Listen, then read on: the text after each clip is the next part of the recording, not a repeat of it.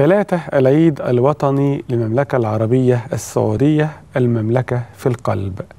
امبارح حضرت العيد الوطني للمملكة العربية السعودية الشقيقة وكان كتير جدا جدا من المصريين موجودين في القصر الرائع اللي تمتلكه السفارة السعودية في القاهرة في حي جاردن سيتي وسط العاصمة.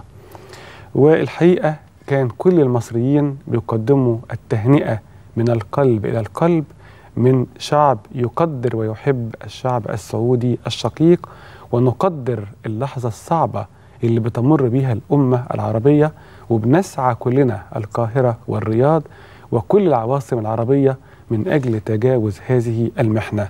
والكل تحدث عن العلاقات الممتازة في عهد الرئيس السيسي والملك سلمان وكلنا نأمل أن إحنا نتجاوز المحنة الراهنة التي تهدد الأمن القومي العربي.